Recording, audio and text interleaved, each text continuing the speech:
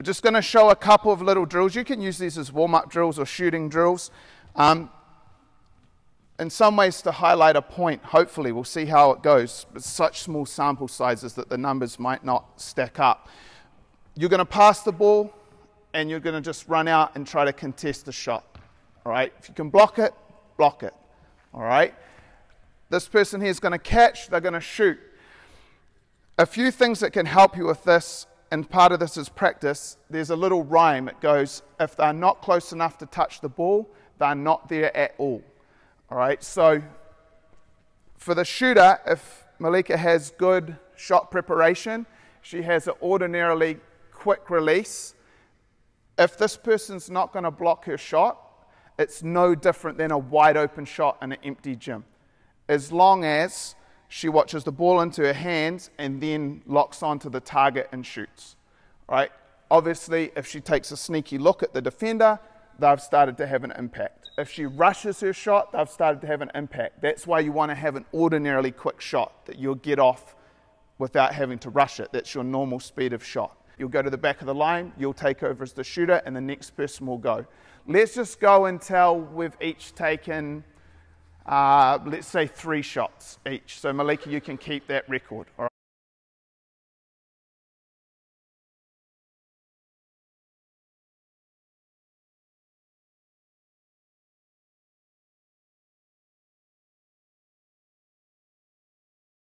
Okay, the, the, the, by nature of the shot making, these numbers will probably not work out, but we will see. Passes go to the top. Malika, come to underneath. Yu Ching, you don't have a ball. Uh, come and make a down screen. Okay, so now, Malika, you're going to come off the down screen. You're looking to get a 45 catch and shoot. No, no, 45 3. Once you've passed, sprint it here and close out. All right, get your own rebound, join the back of the line, defense, become the new shooter. You're just there to simulate a screen. Are we happy with this? We're going to go three shots each.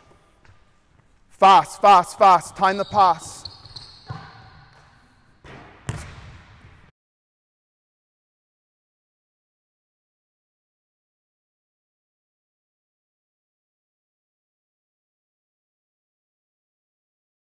Okay, so players, coaches, you can all have a vote on this.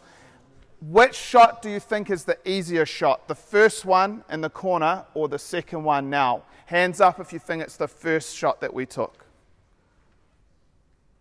Hands up if you think it's the second shot that we took is the easier shot. Hands up if you can't be bothered putting your hand up. Some can't even be bothered putting their hands up for that. Most people felt that the first shot was the easiest. What do you guys who had to do it think was the easiest shot? The first one's easier? Because I think that if you look at those two shots, the first one is more of a modern shot, and the second one is more of a traditional shot. And this shot, for a, a lot of times, gets perceived as being a better shot than the first shot, but it's harder, so it doesn't make sense right? So, for example, if we sprint down in transition, you know, obviously, if you've watched games this year, you'll be familiar with it. And let's say Ethan Rusbatch runs down the wing, he's open, we throw it to him, and with 21 seconds on the shot clock, he takes that shot. Traditionally, that would be perceived as a bad shot. Yet, if we ran a really intricate play and there was lots of screens, and then at the end of it, someone had to do a big screen here, get whacked by Pero Cameron, then sprint off here, run out here, catch, face up, and shoot. Everyone would say, Oh, great coaching, lovely offense, great shot. But it's way harder. So we want to consider what constitutes a good shot. And I think the likelihood that you will make it and the expected points value, right? Those two things in combination. So most people understand that that isn't a good shot, really, because you're not going to make it that much better than you make that shot. In fact, the NBA data shows that they shoot this better than that, literally, not even when you take into account the point. But the expected points value is obviously 50% more than it is there. So this unquestionably is going to yield more points than that. That stays true until about here. So in the NBA, they don't shoot it more efficiently from so from here till the three point line is basically sub efficiency. So you think it would be like like a gradual progression, but it's not. It's like really high scoring here, and then it's just a big dead zone. And then they get more. But there's more to it than making an easy shot. Uh, if you think about force in a straight line, you're trying to eliminate, eliminate rotation, right? So on the first shot, there's basically no rotation. You're facing the hoop, you catch, there's no angular movement unless the pass is really bad. So this is much easier. But on the second shot, you're having to turn through a lot of angular rotation. So you've got momentum going like this that you have to halt and get it to go straight again. And if you get it out by just a tiny bit, by the time that this angle being off diverges to get to the hoop, you know, you've missed by quite a lot. So it's an easier shot because there's no angular rotation. And then if you think momentum wise, well, one of them you're stepping in and all that momentum and power is going towards the hoop, whereas on the other one, all your momentum and power is going away and you've got to basically generate power back. So the modern shot is perceived as being a bad shot but it's much easier. And then the traditional shot, bear with me a second, is perceived as being a better shot, but it's much harder.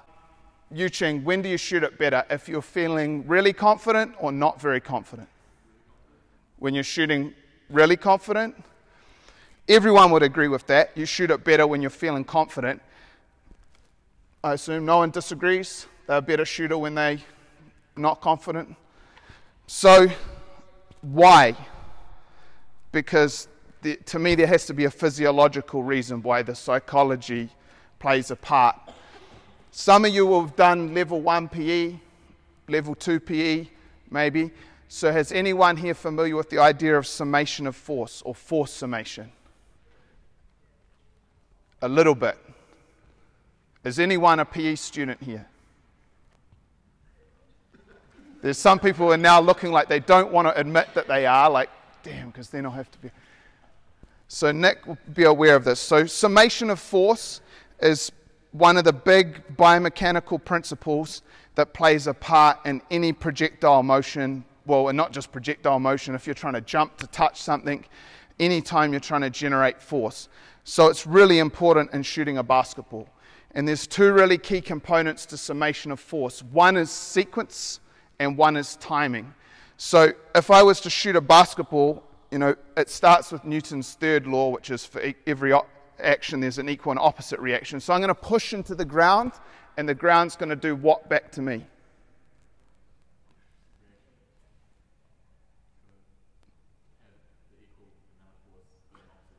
Yeah, it's going to push me back, isn't it? Now, one of us will move. It won't be the planet. So I'm going to be the one who moves right? So I start getting forced back, and it's going to be working through like a kinetic chain that's effectively gastrocs, quads, glutes, up through the core, into pectoralis major, anterior deltoid, tricep, into the wrist flexors, and then you're putting force into the ball. And if you get that sequence in the right order and with the timing, so ideally, if this is force, we want the gastrocs and then the quads and then the glutes to be kicking off those peak force.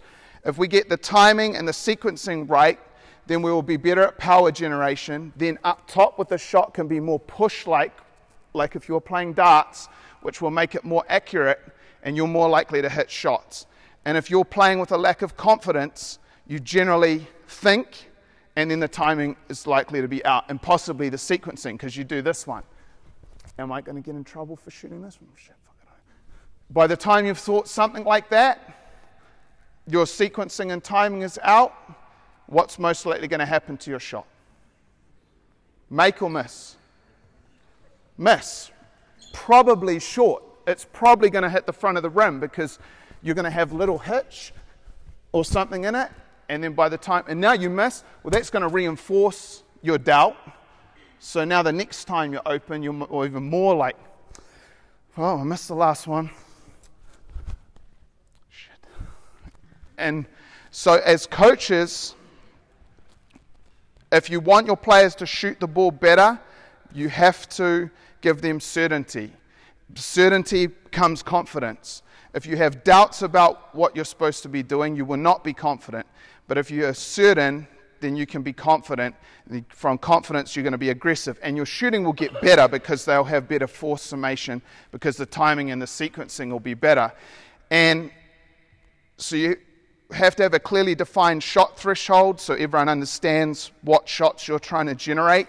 They may be slightly different for different coaches, but a clearly defined shot threshold that you want, that you perceive as being these are the good shots that we want. And then it has to be process oriented. All right, so you have to decide whether it's a good shot based on the decision, not the result.